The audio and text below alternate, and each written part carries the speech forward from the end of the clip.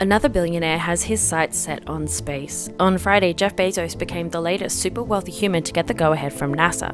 Bezos' aeronautic company Blue Origin was awarded a contract worth 3.4 billion to build their lunar lander, Blue Moon. This is Blue Moon.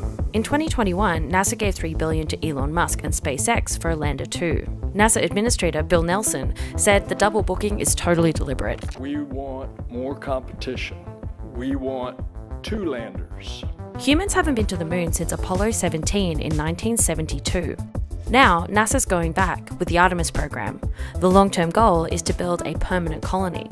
Do you think humans will be living on the moon in your lifetime? And which billionaire's lander will come out on top?